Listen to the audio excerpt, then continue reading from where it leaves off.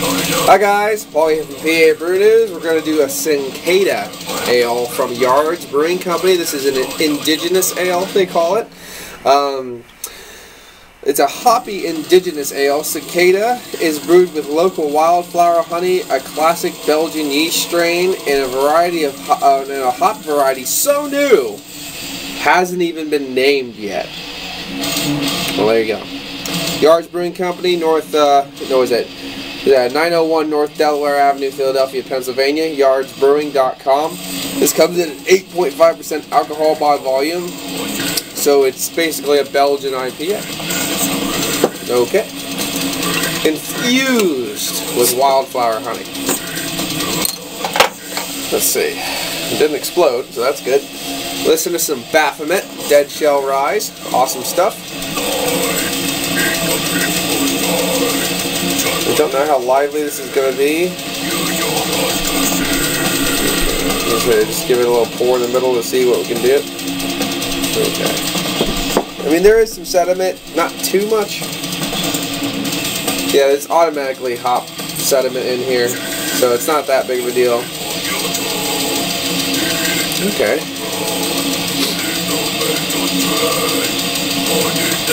Okay, I'm getting a little bit of, uh, of that kind of Belgian yeast qualities, a little bit of bread, definitely getting caramels.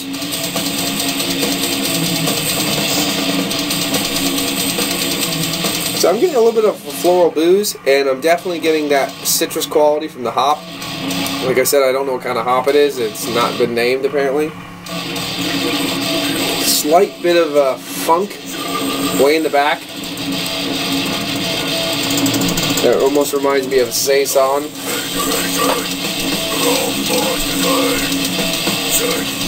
Smells okay to me. Let's give it a go. Cheers.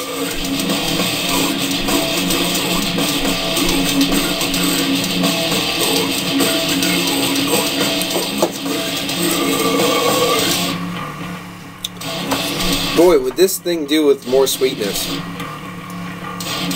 It just if it, if it, had a little bit of a kicked up sweetness of the malt base, it would be a little bit more enjoyable for me. But you know, first sip, better better give it a chance, right? A little bit of carbonation going on. Nice lacing automatically.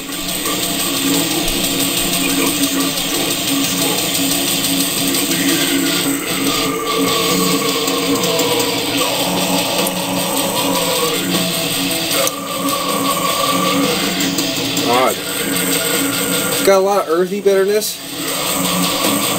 The citrus comes and goes, but it really isn't that citrusy as much as I thought by the smell.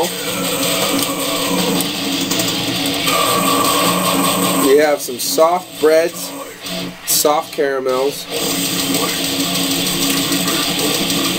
a good amount of bitterness. There's some there's some lingering bitterness definitely.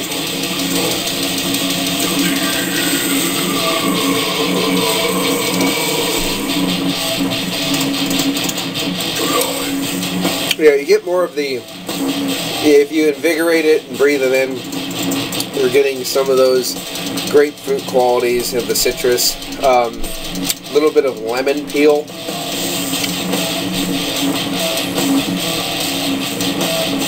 But there is a nice earthy bit to this too. Uh, there's a little bit of floral in the nose, not too much. Pretty, uh, this is a, a pretty much a hop forward one.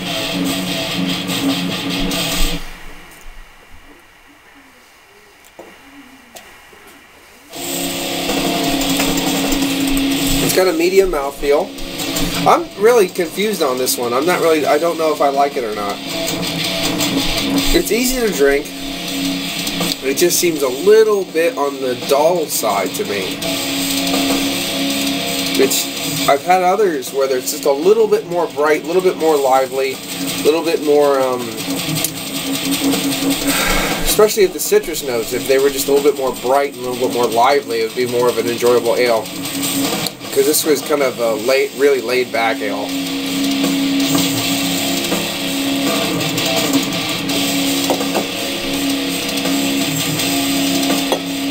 Not too bad. The more I drink it, I think that the more I like it. especially on that big. You take a big waft right before you swallow it. It has more of those residual flavors. They kind of come out a little bit, and then you get some of those bread tones, a little bit of that saison quality. Then you get some of the citrus, with then mixing in with all that that earthy bitterness. But it's a different one. Uh, me and you know the Belgian stuff I'm not too big on, you know, I don't really know much about it, and I'm not really used to drinking it so much, so maybe that has something to do with it too.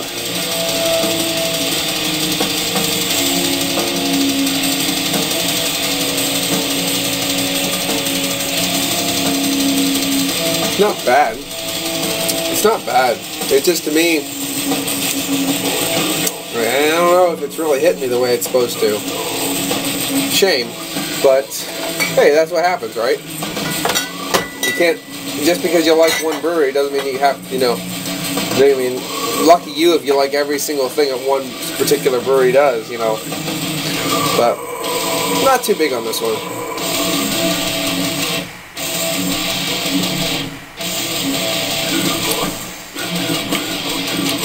Not bad though. It's not bad.